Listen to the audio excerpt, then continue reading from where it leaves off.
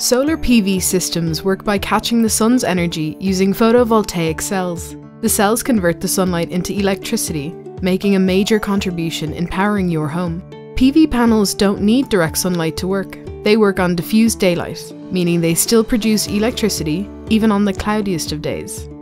Now let's take a look at the process, step by step. Light shines onto the PV panels and creates a direct current of electricity. The DC current then flows through your Activ8 inverter, converting it into alternating current. This is the type of electricity you use in your home. The electricity travels through your generation meter to your mains consumer unit, where it connects to your everyday appliances. Once the demand in your home is being met, any excess electricity can be diverted via a hot water divert to heat your hot water. It can also be stored in a smart battery for later use. Solar energy powers your home in exactly the same way it would from the grid.